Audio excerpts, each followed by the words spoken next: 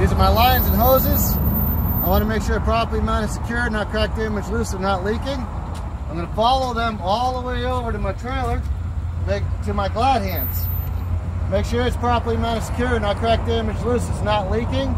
There's a seal inside of my glad hands. I want to make sure it's not cut, cracked, or frayed, so it seals properly. And then all my lines and hoses are securely fastened above my catwalk. Coupling two, I've got an apron and a kingpin. I want to make sure it's properly mounted secure, not cracked, damaged, loose, not bent and broken. um, I got my fifth wheel and uh, my fifth wheel release handle.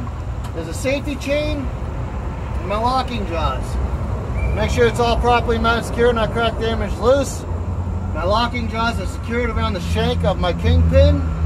My locking pins on my fifth wheel platform are in locked position. My handle's in its locked position.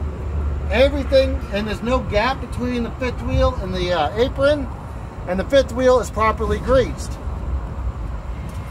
Then I want to make sure that there's a sufficient amount of space between the tractor frame and the landing gear.